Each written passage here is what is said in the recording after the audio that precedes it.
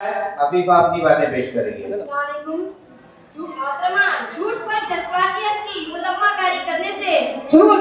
सच नहीं बन जाएगा। इस हकीकत से आज हर शख्स वाकिफ है कि रिजर्वेशन एक बहुत बड़ी समाजी नाइंसाफी है।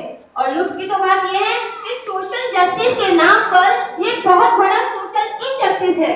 मोहतरमा आपने गुर्बत मखलूकुल हाली तंगदस्ती और वसाइल से महरूमी जैसे इमोशनल वर्ड्स का इस्तेमाल करके मामले को जज्बाती बनाने की कोशिश की।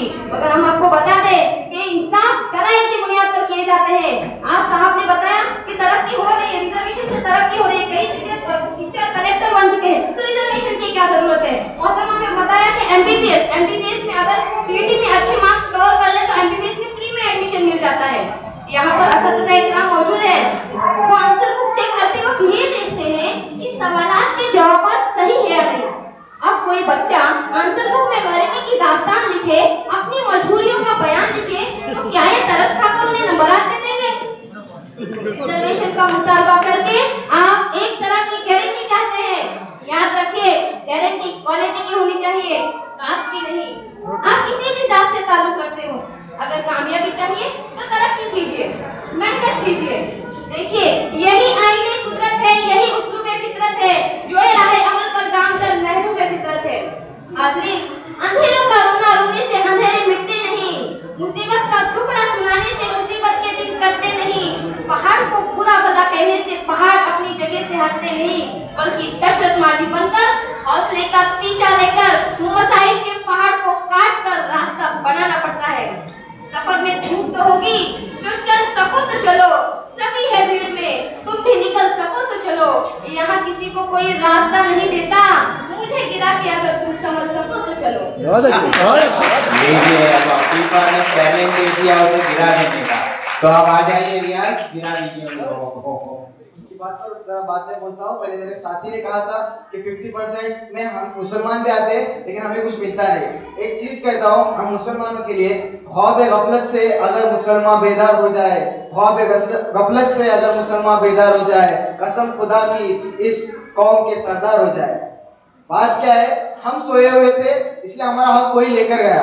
हम सोए हुए थे 50 परसेंट हमें मिला ओपन में। आप कह रहे हो कि ब्राह्मण इसके ऊपर है। यह बात आप आज बता रहे हो। अगर पहले आपको समझ में आती ना तो बहुत पहले हमें हमारा हक मिला होता। अगर हम हमारे हक के लिए पहले लड़ते तो हमें 50 परसेंट का 25 परसेंट मिलता। उसमें फिक्स किया हुआ नहीं है कि ब्राह्मण को 40 परसेंट लेना है तीन परसेंट सिख को लेना है तीन परसेंट मुसलमान को लेना है। इसलिए मैं कह रहा हूँ कि अगर हम पहले बेदार होते हैं तो हमें हमारा हक मिलता हाँ, हमारा हक कोई नहीं मार रहा है। ना दो घर समझ लो एक ओपन कैटेगरी का एक सामने घर है और सामने वो एस सी एन टी और ये वाले। हम उनके घर में झाँक रहे हैं हमारा घर में दिख रहे। हमारे घर में हमारा हक मारा जा रहा है ना कि उनमें से कोई आ रहा है और हमारा हक मार रहा है। इसलिए रिजर्वेशन से हमारा नुकसान है ये मैं समझ रहा हूँ। और जिस तरह हम जानते हैं कि आज भी हम रास्ते से आते जाते हैं, लोहार देखते हैं, हम कॉलेज में सवेरे आते हैं तो वो लोहार के बच्चे स्कूल में नहीं आते, क्योंकि उनके पत- उन्हें पता है कि हमें आज भी निचली जात का समझा जाता है और ये हमें एक लेवल का नहीं समझते।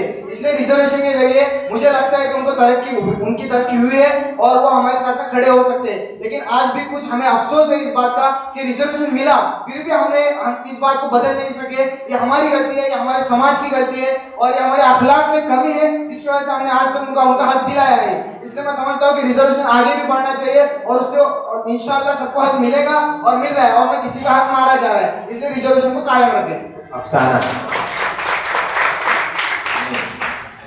सुलेमान बात सुनकर तो मुझे अलामा इकबाल का वो शेर आता है जिसमें मैंने अपने अल्फाज को ऐड किया है। जमाने में मौजूद थे हम मुसलमान होकर जमाने में मौजूद थे हम मुसलमान होकर और हम ख्वार हुए और हम ख्वार हुए। तारीख के रिजर्वेशन होकर। इस बात से मालूम पड़ता है इन्होंने कहा हमारे बहन ने कहा कि एमबीए से अगर हम इतने कास्ट वाले को देखना चाहते हैं कि पढ़ते हुए देखना चाहते हैं इन्होंने कहा लेकिन हम देखना चाहते हैं हमारे हम भी चाहते हैं कि वो बढ़े लेकिन किस बिना पर एबिलिटी के बिना पर कास्ट के बिना पर सभी आगे ऊपर चला जाए ये ये थोड़ी बात हुई। तुम अपने बुनियाद पर आगे बढ़ रहे हो? ये गलत बात है। अपनी तुम भी करो ऐसा ही कास्ट भी कर सकते हो। ऐसा अगर कोई भी आगे बोलेगा, हमारे हमको आंदोलन करेंगे और उसको रिजर्वेशन जाए। ऐसा करेंगे जनरल वाले को भी रिजर्वेशन जाएगा जनरल वाले को तो ही नहीं। और अगर हम चाहते हैं ना कि हमारा देश बढ़े इस इस खत्म कर देना चाहिए। अगर अगर जो आज हमारा देश है वो जापान से भीख माँगता है, इसके लिए एक बुलेट ट्रेन के लिए, उसकी ज़रूरत नहीं क्यों आ रही इसी नौबत ऐसे काश वाले ऊँची पोस्ट आते ना तो ये सब नहीं लिखते क्योंकि टैलेंट होता नहीं है। टैलेंट क्या? टैलेंट छुपा जाता है छुपा जाता है। इसको छुपाने की ज़रूरत नहीं है दिया जाए ना तो हम हम जैसे हम जैसे लोग ना ऊपर बढ़ेंगे। और 90 और 45 90 और 45 में कितना फ़र्क है? 45 का फ़र्क है। फिर भी इनको ऊपर उठाया जाता है। हमको नीचे जाता है क्यों? अगर हम ऊपर जाएँगे तो देश की तरक्की होगी? ऐसा नहीं कि हाँ कि कोई चाइना इतना बड़ा मुल्क रह के भी इतनी आबादी रह के भी तरक्की करता क्यों कर रहा है? क्यों? इसी बिना पर कि हमारे रिजर्वेशन और करप्शन है करप्शन किसकी वजह से होता है? रिजर्वेशन की वजह से। निचले कास्ट में ऊपर आते हैं इतना पैसा कभी देखा नहीं होता है। अगर पैसा देखने की वजह से वो रिजर्वेशन क्या है इसी तो हमारा देश आज तरक्की नहीं कर रहा है। और जैसे इन्होंने कहा कि हाँ जो गरीब है ना वो गरीब इसमें गरीबी में जलकर गरीबी में जलकर अपनी तालीम पूरी करता है। गलत बात है, आठवीं तक ना तभी सब फ्री मिलती है। वो पढ़ सकता है उतना पढ़ के ऊपर आ सकता है ज़रूरी नहीं सुलेमान ने जो बात पेश की है वो ये है कि अगर ये रिजर्वेशन खत्म कर दिया जाए तो शायद हिंदुस्तान ऐसा मुल्क बन जाएगा जो दूसरे मुल्कों को जो है बुलेट ट्रेन के लिए कर्जे देने शुरू कर देगा। आइए, हमारे सामने जाफ़र क्या बात पेश करते हैं। इसका जवाब मैं में दूँगा। पहले जो मेरे साथी ने बात कही, ये रिजर्वेशन और ये सब पहली बात है कि ऊपर जुल्म होता था, उनको जो तो पिछड़ा हुआ तबका समझा जाता था। ये बाबा आदम के जमाने की बात है। बिल्कुल ये बाबा आदम के जमाने की बात है। लेकिन आज भी वही बाबा आदम वाला जमाना अभी होता। कब? अगर ये रिजर्वेशन ना होता तो। रिजर्वेशन है, इसी की वजह से वो बाबा आदम वाला जमाना आज नहीं है।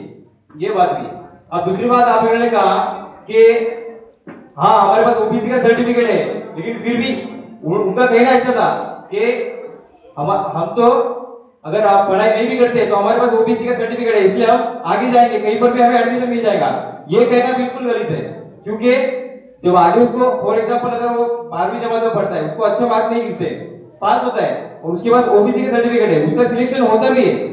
फिर भी आगे की सलाहियत उस पर डिपेंड करती है। आगे कुछ ना कुछ सलाहियत ज़रूर है, जिसकी वजह से वो उसके आगे बढ़ सकता है। उसका एडमिशन हो जाता है। वहाँ से अगर किसी जॉब के लिए वो अप्लाई करेगा, वहाँ से तो रिजेक्ट कराया जाएगा ना। वहाँ पर इंटरव्यू में उसकी तमाम सलाहियत उभर कर आएँगी तो ज़रूरी नहीं है कि अगर ये खुद कम अगर परसेंटेज लेता है, फिर भी अपने ओबीसी के सर्टिफिकेट की वजह से आगे बढ़ता है। ये कोई ज़रूरत नहीं। टैलेंट हर एक में होता है। बस उसको लोगों के सामने पेश करना ये ज़रूर होता है। इसके लिए जात पात नहीं देखी जाती। चलिए अफसाना अपनी बात मेरे ख्याल से रिजर्वेशन नहीं होना चाहिए। क्योंकि जब हम कॉलेज के एडमिशन में जाते तब ओपन कैटेगरी वाले बच्चे चाहे 80 परसेंट ले या 90 परसेंट ले मेरिट लिस्ट में पॉइंट की वजह से पीछे रह जाते या फिर लाखों रुपए भर के डॉक्टर या इंजीनियर बनते और S T N T OBC वाले 45 परसेंट लेकर भी आगे निकल जाते हैं और जिनके पास सलाहियत है, वो नाउमीद होते हैं। और नाउमीद होते हैं। महज रिजर्वेशन की वजह से। और कुछ दिक्कत, कुछ डिब्बे के लोग क्या करते हैं? इत्मीनान से रहते हैं। कि हमें तो रिजर्वेशन है। हम क्या करके क्या क्या करेंगे? तो आराम से कम मार्क्स लेकर आगे बढ़ते हैं। और जो ओपी ओपन एडवांस में वो रात दिन एक करके मेहनत करते हैं। अच्छे परसेंट लाते फिर भी वो जहनी तनाव में रहते हैं कि हमें कैसा एडमिशन मिलेगा। कभी कभी तो खुदकुशी भी कर लेते हैं। और मुलाजिमत में भी देखा जाए तो रिजर्वेशन की वजह से जो रिज़र्व वाला सीट वाला है, उसे चुना जाता है। सलाह देकर नहीं चुना जाता। उसको, उसमें ये नहीं देखते कि उसमें क्वालिटी है या ना है। फिर भी उसको चुनते हैं। और जिसके पास सलाहियत है, वो बेचारा बेरोजगार हो जाता है। कुछ लोग ओबीसी या बैकवर्ड का सर्टिफिकेट दिखाते हैं और अपनी ज़िंदगी आराम से गुजारते हैं। और उनकी नस्लें भी उसी सर्टिफिकेट का फ़ायदा उठाते हैं और वो भी आराम से गुजारते हैं। और जिसको सच में उसकी ज़रूरत है, वो क्या करता है? और वो तो ओपन में रहता है, उसके पास तो सर्टिफिकेट, वो तो वैसा ही रहता है, उसकी नस्लें भी वैसे मतलब फ़र्ज़ कीजिए, आप ओबीसी में मैं ओपन में हूँ तो मैं अ, आपको कैसा सर्टिफिकेट की वजह से एडमिशन भी आ, मिलेगा और आगे आप पढ़ेंगे भी आप आराम से रहेंगे आपके पास बहुत ज़रा पैसा भी रहेगा आपकी नस्लें भी आपके पास पैसा होकर भी वो सर्टिफिकेट की वजह से आपकी नस्लें भी वही करेंगी ना सर्टिफिकेट दिखा के और सर्टिफिकेट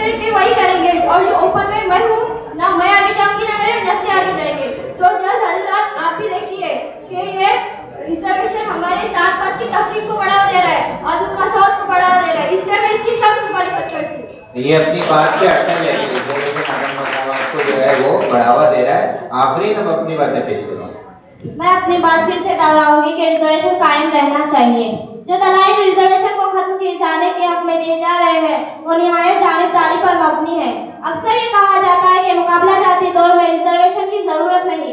ये दलील भी पेश की जाती है कि सब सब बच्चों को अच्छी तालीम दी जाए। उन्हें इस काबिल बना दिया जाए कि उन्हें रिजर्वेशन की ज़रूरत नहीं पड़े, ना पड़े। मैं कहती हूँ कि आज एक तरह की सहूलत फराहम करना हिंदुस्तान के बस की बात नहीं मसला दौलतमंद का बच्चा आला स्कूल में तालीम हासिल करता है, जिसे ट्यूशन अच्छी मिलती है, खाने पीने को अच्छा मिलता है। अच्छे, ऐसे बच्चे की बराबरी एक गरीब का बच्चा कैसे करेगा? गरीब दो, दो मील पैदल चलकर स्कूल आता है जबकि दौलतमंद का बच्चा अपनी कार से आता है। गरीब रूखी सूखी रोटी खाकर तालीम हासिल करता है। दौलतमंद का बच्चा मेहनत अफसर माहौल में परवरिश पाता है। नतीजा यह होता है कि उसकी हम्मागिरी तरक्की होती है। मार्क्स अच्छे आते हैं अच्छे कॉलेज में एडमिशन पाता है और भी आसानी से मिल जाती है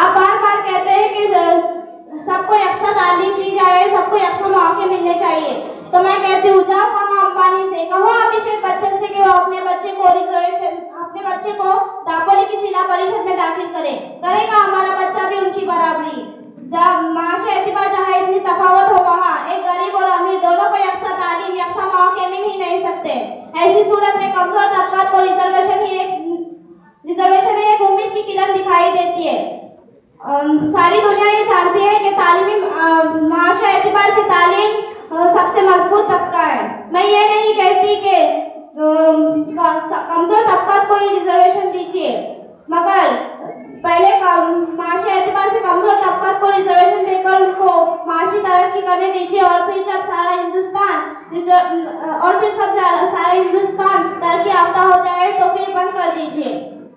तो इसका कहना ये है कि रिजर्वेशन हिंदुस्तान के तरक्की याफ्ता होने तक चलते रहना चाहिए। अब आइए फायजा क्या कहती है सुनते हैं। फाजिल दो जैसे ये कह रहे हैं कि रिजर्वेशन खत्म नहीं होना चाहिए। तो दरअसल वो ये कह रहे हैं कि तालीम का मियार आज जितना पस्त है उससे भी ज़्यादा पस्त हो जाए। ब्यूरोक्रेसी जितनी बेढंगी सर्विस आज दे रही है उससे भी ज़्यादा बेढंगी हो जाए। और आगे उन्होंने ये भी कहा है कि पहले गरीबों को तरक्की करने दीजिए, और जैसे वो महाशय के पास मज़बूत हो जाएँगे तो हम रिजर्वेशन नहीं मांगेंगे। तो मैं कहती हूँ, तब तक हिंदुस्तान मुकम्मल तौर पर बर्बाद हो चुका होगा।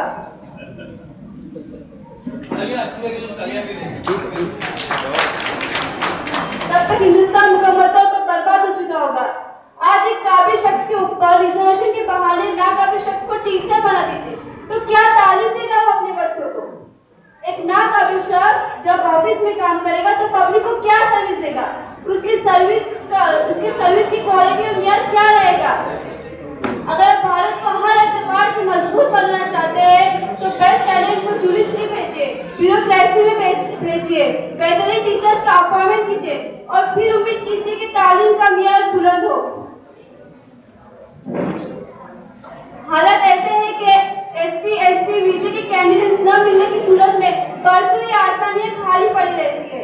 ये बात दुरुस्त नहीं है इसको बंद करना होगा। आज की स्थिति क्या है बताइए ना पिछले अड़सठ सालों से, यानी उन्नीस सौ सैतालीस से हम रिजर्वेशन देते आ रहे। नतीजा क्या है? सोशल डिवाइड इकोनॉमिक इम्बैलेंस बाइकसाजी और माशी तवज्जुह तो बढ़ता चला जा रहा है। बस अब बहुत हुआ रिजर्वेशन बंद होना चाहिए। रिजर्वेशन बंद करने के पीछे पड़ी भी है ये। अब आ जाइए इनके साथ जो है फायजा, फायका फायका अपनी बातें पेश करेगी जैसा कि इन्होंने कहा, रिजर्वेशन देना ज़रूरी नहीं, लेकिन मेरा मानना है रिजर्वेशन देना ज़रूरी है। हमारे मुल्क को आज़ाद अड़सठ बरस हो गए, लेकिन हमारे मुल्क में कोई सुधार नहीं है। इसीलिए रिजर्वेशन देना बहुत ज़रूरी है। हमारे मुल्क में,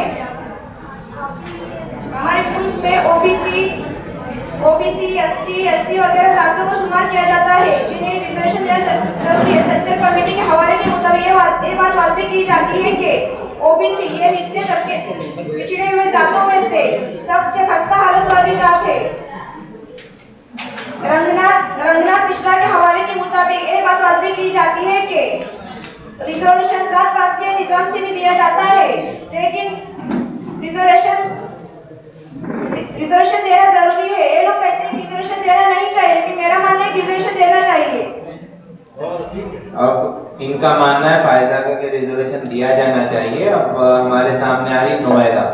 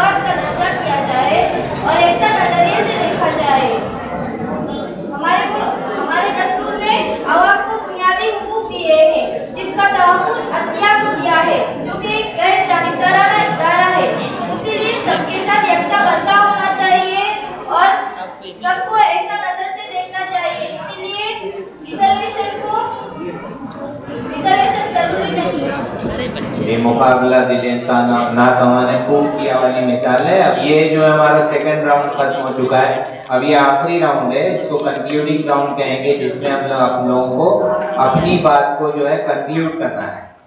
दो मिनट का हर एक को मौका मिलेगा और इस दो मिनट के मौके की जो है पहली हकदार है इकरा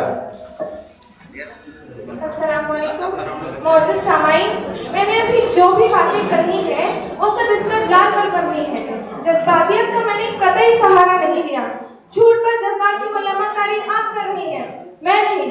और जनाब, आप आप क्या कह रहे थे आठवीं तक सब पास रहते हैं। लेकिन आठवीं तक जो पास रहते हैं, वो कौन सी दुकानों में काम करते मोबाइल की दुकानों में काम करते बैठते असली तालीम जो है, दसवीं और बारहवीं के बाद शुरू होती है। तभी रिजर्वेशन मिलता है। और आप जो कह रही थी रिजर्वेशन कम परसेंट जो गरीब लोग हैं, उनके लिए है। और आप एबिलिटी की बात कर रहे थे, निचली जातियों के जो तब, निचली तबके के जो लोग हैं, उनमें भी एबिलिटी है और उनमें ही असली एबिलिटी है। और रिजर्वेशन के सहारे ही वो आला मकान तक फाइज होते हैं। मैं आपको एक मिसाल देती हूँ। अगर किसी बाग के गोशे में बाहर की रंगीनी व जवानी छाई हो और उसी बाग के दूसरे गोशे में फिजा की वीरानी व परेशानी छाई हो तो क्या वो बात सरसब्ज शादाब कहलाएगा? एग्जैक्टली exactly यही बात हमारे देश में भी साबित होती है। चुनाचा आप चाहे या ना चाहे, लेकिन इस वक्त अज़ीज़ का हर मशहूर शहरी यही चाहेगा। सबके चेहरे खुशी से दमकते रहे ख्वाब आँखों में सबके मचलते रहे। हर तरफ़ मुस्कुराहट की कलियाँ खिले और गुच्छे वफा के चटकते रहे। बहुत अच्छा। जमहूरिया की पहली बरसी के मौके पर जिगर मुराद आबादी ने फरमाया बाहर आए और इस शान से बाहर आए कि फूल ही नहीं कांटों पे है, बहुत अच्छा, अच्छा। और अब आप ये कहेंगी कि कांटे तो फूलों का तार तार कर देते हैं उनकी ज़िंदगी दुश्वार कर देते हैं उन्हें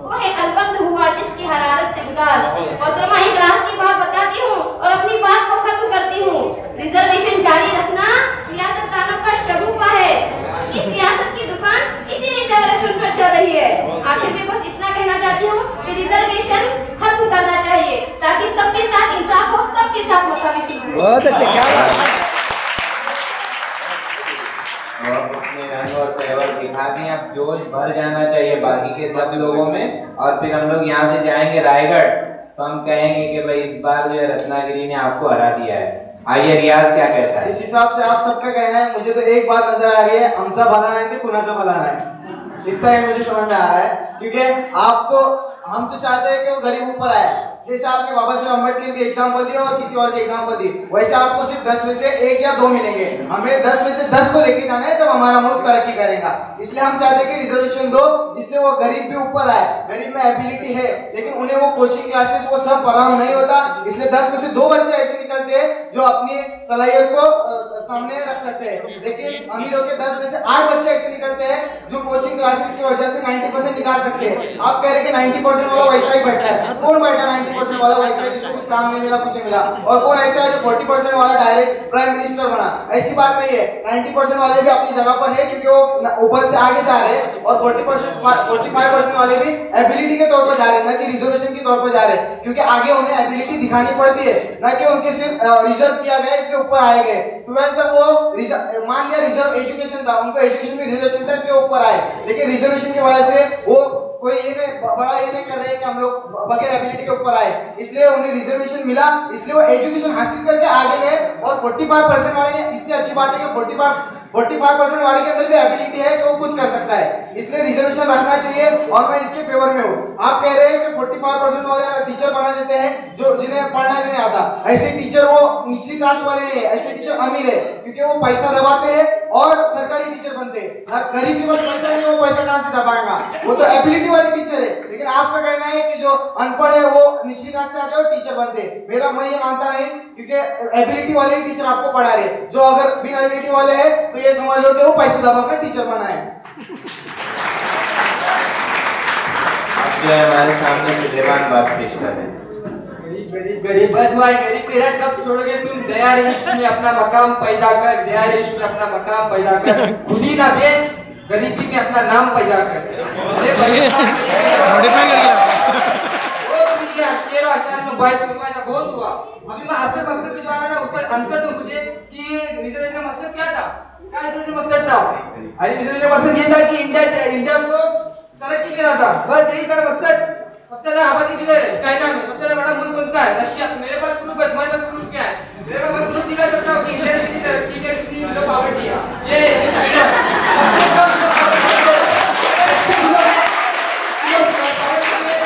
उसका उसका रीजन उसका रीजन बताता हूँ उसका रीजन एक मिनट एक मिनट के बाद रशिया का नंबर आता है रशिया का नंबर आता है और सबसे ऊपर सबसे ऊपर बिलो पॉवर्टी में सबसे ऊपर इंडिया इंडिया ने क्या किया कौन सा कौन सा ये किया तीन मारा था इंडिया ने बहुत रिजर्वेशन बहुत बहुत अच्छा पढ़े बहुत जनाब आठवीं तक आठवीं तक लोग पढ़ते हो टफलिंग बैठते हैं ना कितनी बार टफलिंग बैठते हैं यानी बहुत अच्छे भी दूसरे जो गवर्नमेंट स्कूल से भी ना पास होकर ना अच्छे अच्छे, होते पर फाइज है तो ये मत सिखाओ कि यहाँ की रिजर्वेशन से रिजर्वेशन होने की वजह से ही निचले कास्ट वाले ऊपर आते हैं ऐसा ज़रूरी नहीं है। अगर तुमको करना है तो एबिलिटी एबिलिटी सम्मान करो। एबिलिटी के बेस पे टैलेंट के मजबूती पे तुम ऊपर आके दिखाओ। ये तुमसे नहीं होगा बस कास्ट की रिजर्वेशन चाहिए ये चाहिए वो चाहिए ये सब खत्म कर दो। हमारा हमारा तुमको कब मिलना चाहिए? तुम बोलते हैं 90% मैं बोलता हूँ 90% केकेवी की किसान लोग केकेवी में अ, नंबर नहीं लगता सब क्यों लगता? क्योंकि ओबीसी एसटी में इनका पहले 52% पहले उनका एडमिशन होता था हाँ। 84 90% लेके वेटिंग लिस्ट में खड़े रहते हैं। ये क्यों? किस बुनियाद पर होता है रिजर्वेशन बुनियाद पर होता है। हम कब आगे आएँगे? कब आएँगे? अगले साल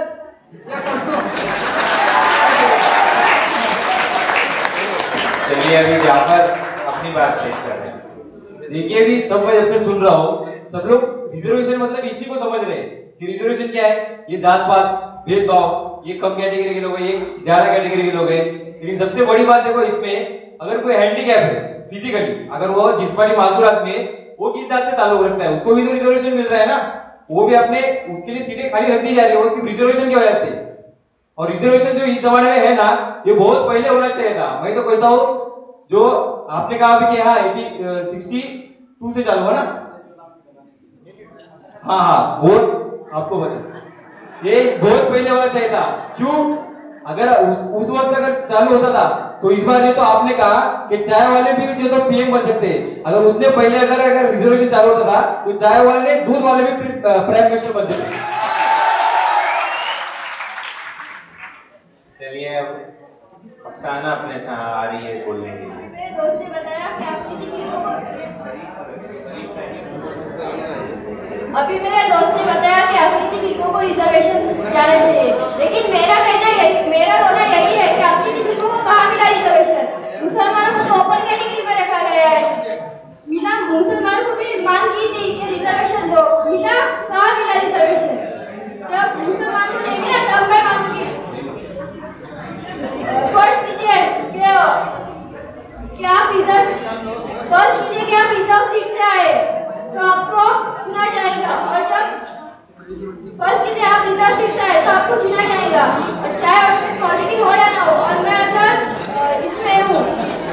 भी होकर नहीं चुना जाता। क्योंकि वो विकास मज़हब अभी मेरे दोस्त ने बताया कि मज़हब देख के नहीं तो फिर कैसे मुसलमानों को क्यों नहीं है? तो फिर मज़हब देख के नहीं ना करते। कुछ भी अपने चुनाव लड़ते हैं, तब उधर क्या करते हैं? अगर रिज़र्व सीट है तो उधर कोई खड़ा नहीं हो सकता। तो किसी और को रिज़र्व वाले को ही खड़ा करते चाहे उसमें ये डायरेक्ट हो या नहीं हो। आ- जान सकते हैं कि उसका अंजाम क्या होता है। जब नाकाबिल छूट कर आता है सरकार को इतना समझना चाहिए कि सरकार को इतना समझना चाहिए कि हमारे अ, पिछड़े हुए तबका को आगे बढ़ाने के लिए रिजर्वेशन नहीं बल्कि निज़ाम और ऐसे वसाइल पैदा करे कि वो भी काबिल बन सके और न कि वो जात के नाम पे कि हमारी जात ऐसी है तो हमें रिजर्वेशन चाहिए बल्कि अपने बलबूते पर आगे बढ़े अब्दुल कलाम एपीजे अब्दुल कलाम भी तो रिजर्वेशन में नहीं तो ओपन में थे तो वो कैसे आगे बढ़े मेहनत के बलबूते पर पड़े ना तो हमारे अभी आपने क्या बताई थी कि अ, अभिषेक बच्चन का बेटा हमारे साथ तो मैंने फ़र्स्ट राउंड में ही बताई थी कि मसावत का कानून लागू हो गया ना तो अमीर और गरीब का कुछ नहीं रहेगा सबको एक जैसे ही ये मिलेंगे ना अमीर को ना गरीब को सबको एक ना ऊँची जात रहेगी। ना नीची जात यही मैं बोलना चाहती हूँ। और बोले आठवीं पास, और आठवीं पास का कानून है। और आगे भी क्या कहते हैं? आठवीं पास के इससे ही ये होते हैं। आठवीं पास का कानून है ना, उससे क्या करते हैं?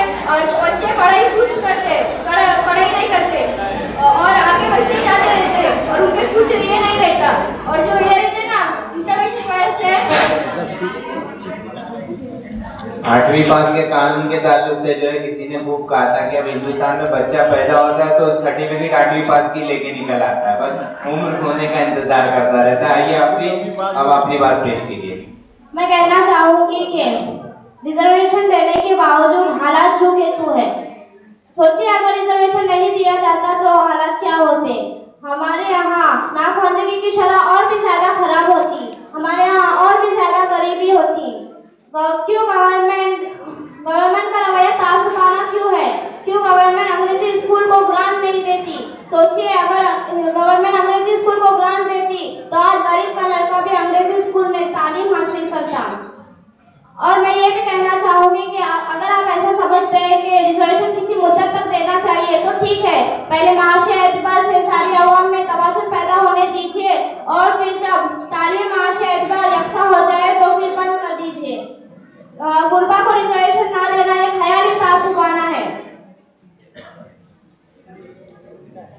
थैंक यू चलिए इसने जो बात पेश की वो ये कि अगर रिजर्वेशन ना होता तो नाखवानगी और गरीबी की शरह जो बड़ी रहती है अब हमारे सामने फायजा जो है इस बात को जो है किस तरह से पेश करती है, देखें।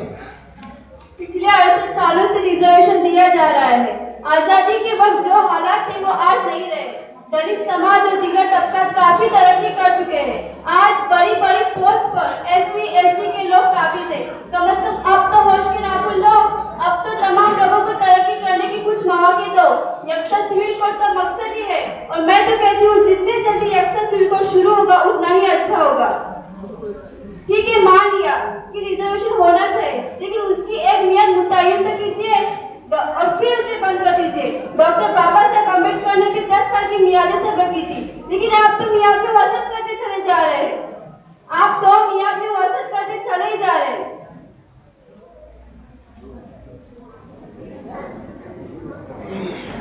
मेरी समझ में नहीं आता कि आप क्यों नहीं समझते। एक तरफ़ तो आप क्वालिटी ऑफ़ सर्विसेज़ भी चाहते सुपर पावर भी बनना चाहते और दूसरी तरफ़ पुअर क्वालिटी मैन पावर की वकालत भी करते हैं। रिजर्वेशन से अच्छे नतज की उम्मीद करना फजूल है। और हमारे असला अफसर सैयद अहमद खान और शिबिर नौमानी ने भी कभी रिजर्वेशन की वकालत नहीं की। ये फ़ायदा जो है रिजर्वेशन की मुखालिफत करते करते जो है वो एक्सा सिविल की रिपोर्ट की हिमायत करने लग गई है। आइए अब जो है फ़ायदा जो इस ताल्लुक से क्या कहती है हम सुनते हैं। हुकूमत में आकर हुकूमत में आकर तब सातों की हुकूमत में हुकूमत में आकर तालीमी तालीमी लोगों का तालीमी लोगों का आला उहदों पर पहुंचाना चाहते हैं आला रोज़गार फराम करना चाहते हैं तो रिजर्वेशन देना चाहिए अकलियतों को। अकलियतों को इसका पूरा अकलियतों लोग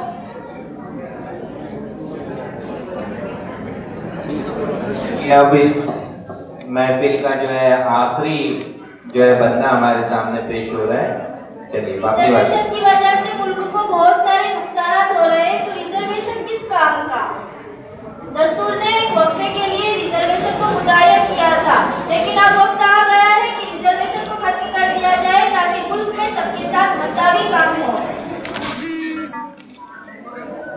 यहाँ पर जो है डिबेट खत्म हो रहा है और जय हजरात गुजारिश है मुहतबाना कि आप जो उनके सामने इन लोगों के प्रोफ़ाइल मौजूद हैं, उस हिसाब से जो है इनके नतज का ऐलान होगा। अब हम जो है एक ओपन सेशन जो है तीन मिनट के लिए